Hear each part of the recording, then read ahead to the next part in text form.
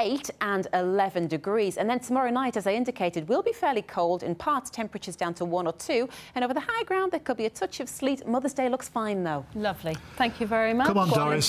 Give it your best. I tell you what, she puts our sport relief boys Yeah. to shame, doesn't she? They couldn't even Doesn't get over she? a blooming speed bump. What could you think they? like 95, and walking five miles yeah. a day, it's really some Good going, isn't it? Yeah, it's great stuff. Inspirational. yeah. Yes, absolutely. I mean, honestly, look at our lot.